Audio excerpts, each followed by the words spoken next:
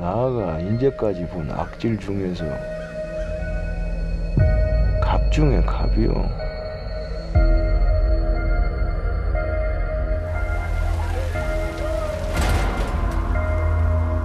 요새 자꾸 동네에서 사람 죽어나가는 거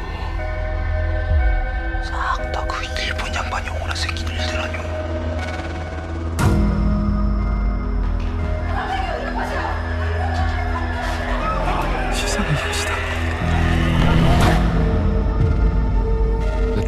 어디서?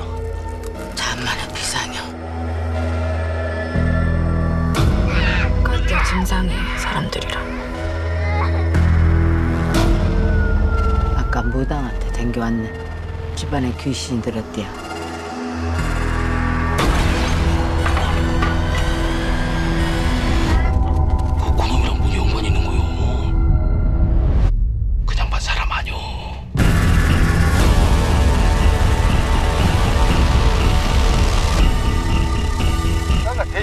최고네.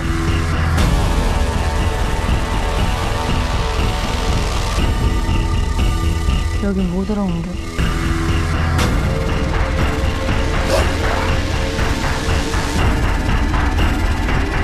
우리 어디 어디냐고!